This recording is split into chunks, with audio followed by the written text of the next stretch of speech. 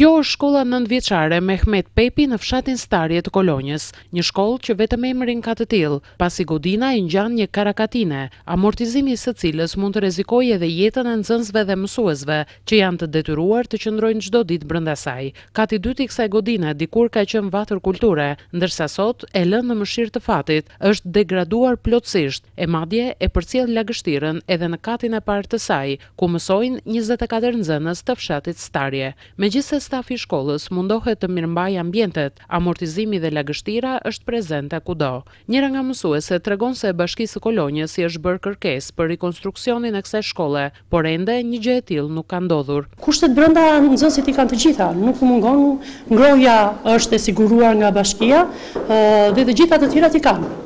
Në ambientet, tavolina, mjetet e punës i kanë të gjitha, nuk u mungon asnjë. Si godinë, kështu ka qenë godina dhe më përpara për arsye se pjesa lart ka qenë pallat kulture dhe është e braktisur. Dhe nuk mund nuk ka pronar.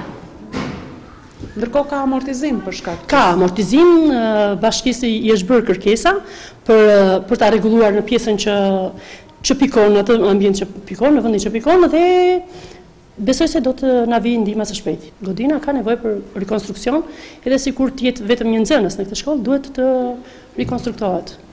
Dhe pjesa lart biles të mendohet edhe për fshatin.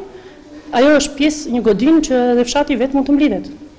Të qëndrojë si pallat kulture kur ka qenë dikur. Fshati Starje në bashkinë e Kolonjës ka më shumë se pesëdhjetë familje, fëmijët e të cilëve janë të detyruar të edukohen në këtë godinë të shkatërruar, në pritje të një ndërhyrje nga Bashkia e Kolonjës.